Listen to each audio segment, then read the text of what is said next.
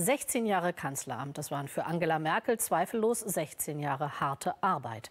Ob es auch gute Arbeit war, daran scheiden sich die Geister. Das politische Erbe der Altkanzlerin ist umstritten, insbesondere seit der Ukraine-Krieg Schwächen und Fehlentscheidungen der Ära Merkel sichtbar macht.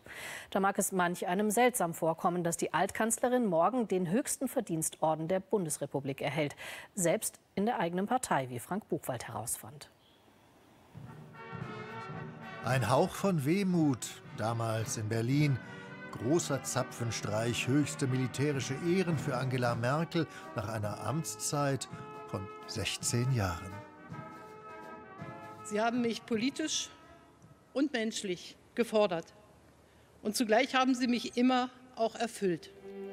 Morgen bekommt sie den höchsten deutschen Orden. Das Großkreuz des Bundesverdienstordens mit Stern und Schulterband in besonderer Ausführung. Eine Auszeichnung, die bisher nur Helmut Kohl zuteil wurde und vor ihm Konrad Adenauer.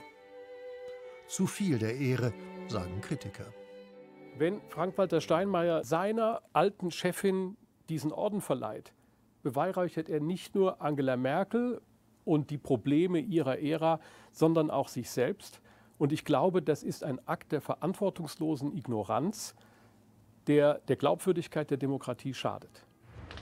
Probleme ihrer Ära, damit ist auch ihre Außenpolitik gemeint, verglüht in den Trümmern ukrainischer Städte.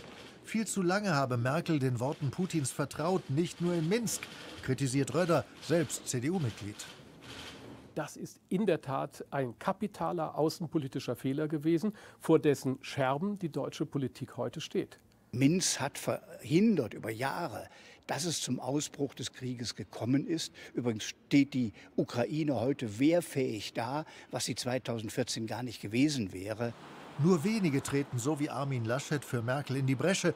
Bei der CDU vielstimmiges Schweigen, keine Kritik, aber eben auch kein Lob. Und Getreue, die um gute Worte ringen, wirken etwas bemüht. Sie ist immer die patente Frau geblieben, als die sie ganz jung 1990, daran werde ich mich immer lebhaft erinnern, beim Vereinigungsparteitag der CDU für viele überraschend zur stellvertretenden Parteivorsitzenden äh, gewählt wurde. Das Schweigen rührt vielleicht auch von einer Energiepolitik voller Widersprüche.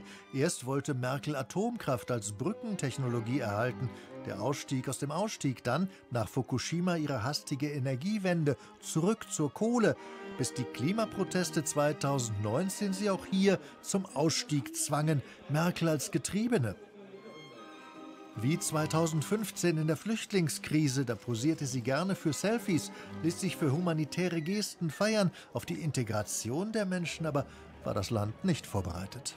Ich bin erstmal sehr zufrieden, dass man äh, Leute im Not auch aufnehmen kann und dass Deutschland auch bereit war, diese Menschen aufzunehmen. Was aber Merkel, ihre Regierung und wir als Gesellschaft nicht verstanden haben, was wollen wir eigentlich schaffen? Was wollen wir, wie wollen wir diese Leute erreichen? Auf Kritik aber reagierte Merkel damals genervt. Wenn wir jetzt anfangen, äh, uns noch entschuldigen zu müssen dafür, dass wir äh, in Notsituationen ein freundliches Gesicht äh, zeigen, dann ist das nicht mein Land. Wenn man eine Persönlichkeit beurteilt, muss man das aus dem jeweiligen Moment tun und nicht im Nachhinein alles besser wissen. Aber es geht ja doch um einen Orden, den höchsten zumal und die Kritik wurzelt sehr viel tiefer.